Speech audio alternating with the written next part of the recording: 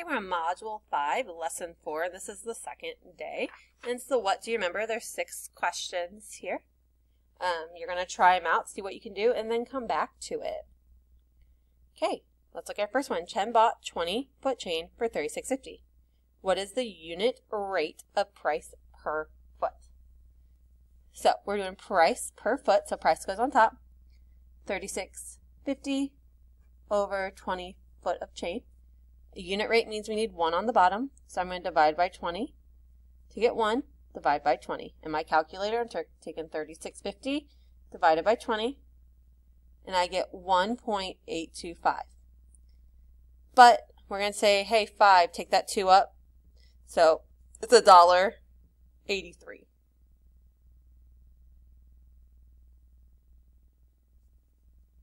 per one foot. At this rate, what would be the price of a 30 foot chain?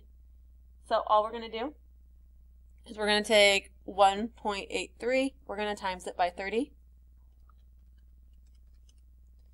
and it's going to give us 54.90 as our answer.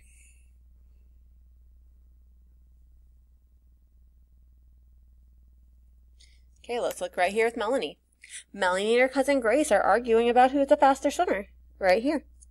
How fast does Melanie swim? So I'm taking 300 meters over 5 minutes. And I'm going to take that down to 1 minute. I have to divide by 5. Divide by 5. 300 divided by 5 is 60. So Melanie can do 60 meters in 1 minute. Grace, hers is 325 meters in 5.5 minutes. We're going to get a 1 minute on the bottom. Divide by 5. 0.5 on the top and the bottom. So 325 divided by 5.5. Grace does 59. I'm going to round it to 59 because it's 59.0909. But that tells us the difference here. Um, Melanie goes one meter longer in a minute, so the faster swimmer is Melanie here. Let's look at question three. Jan takes nine hours to paint two desk sets. At this rate, how long will it take her to paint 15 desk sets? So nine hours, two desks. We need to get this down to one desk, so that way we can multiply it by 15. 2, to get to 1, we're dividing by 2, and we're going to divide by 2 on top. 9 divided by 2 is 4.5, so it takes her 4.5 hours to do one desk.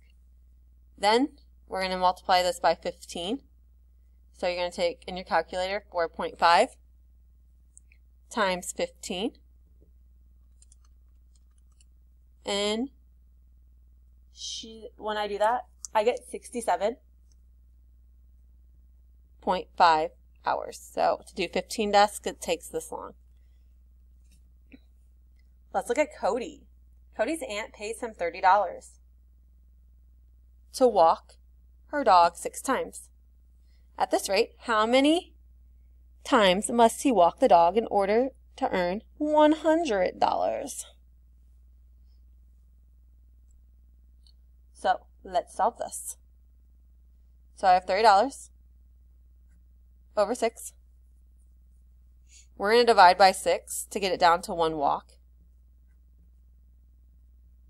And when I do that, I get, so $5 per walk. But we want to get $100 here. So we're going to multiply by 20. Multiply by 20. We get $20. Or 20 walks, I'm sorry. Labels are important, guys. So to get $100, 20 walks.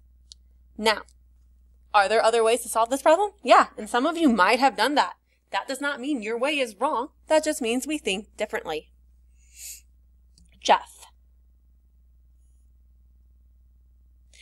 can read a 300 page book in 10 hours. So 300 pages, 10 hours. His twin sister Sasha can do 350 pages in 11 hours. Who reads faster rate? So we're going to take both of these down to one hour here. This one has a 10 on the bottom, so we're going to divide by 10. Divide by 10. 300 divided by 10 is 30 pages per hour. 11 to 1 for dividing by 11. Divide by 11.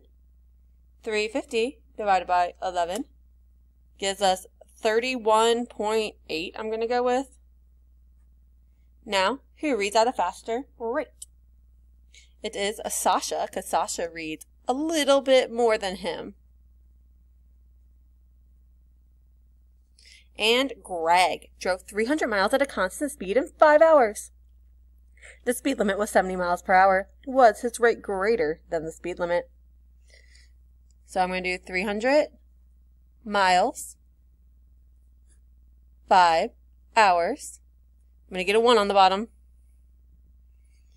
To make a 5 into a 1, I'm going to divide by 5. Gonna divide by 5.